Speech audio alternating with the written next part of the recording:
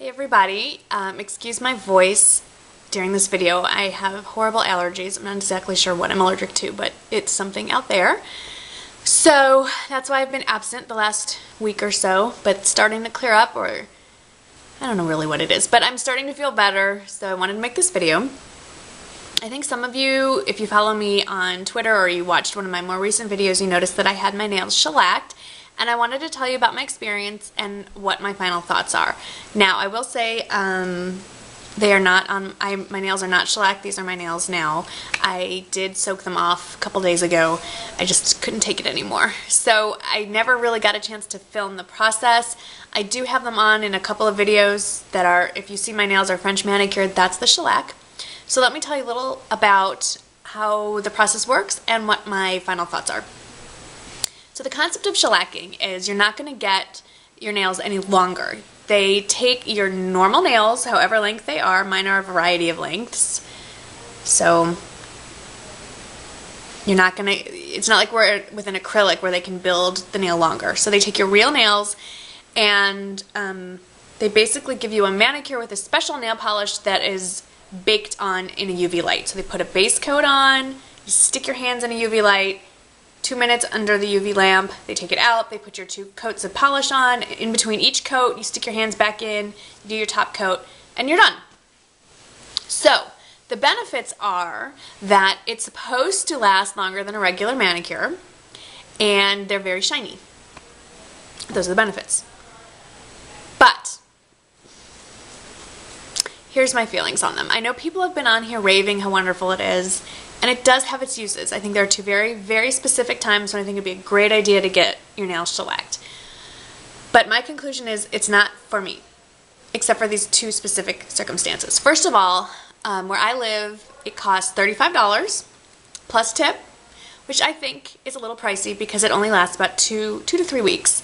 So if this is something that you're considering doing regularly, you're looking at $70 a month plus tip for nails. I think it's a little high.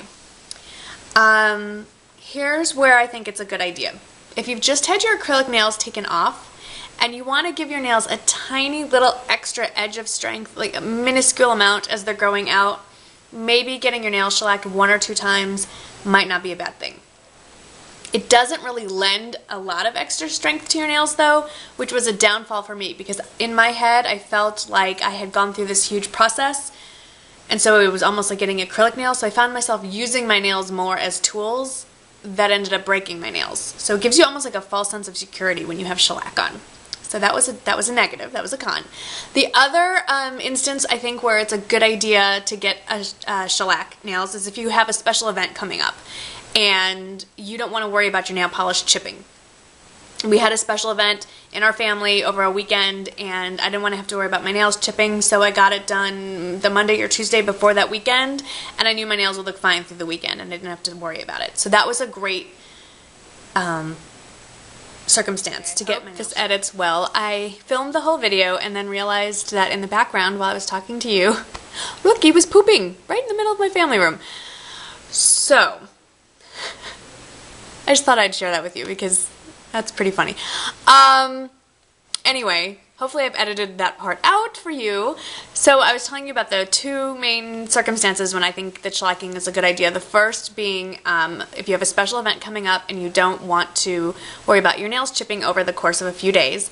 And that goes hand in hand with if you're going on vacation and you don't want to tag bring along nail polish and nail polish remover and all that stuff getting your nails shellacked before a trip is a great idea because as long as it's a neutral color that goes with everything that you're wearing, you don't have to think about your nails.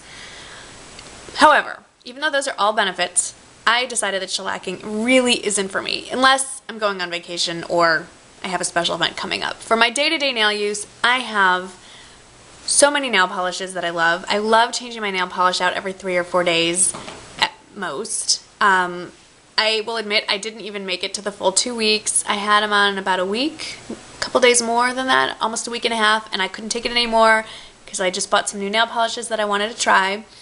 So I put nail polish right over it. I will say nail polish does not really stick well to shellacking, so best to just soak it off. Um, I have on right now Spa Ritual um, Gold Dust.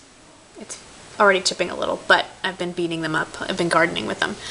Um, so in the end, I'm not a fan of shellacking. I think it's expensive for what it is.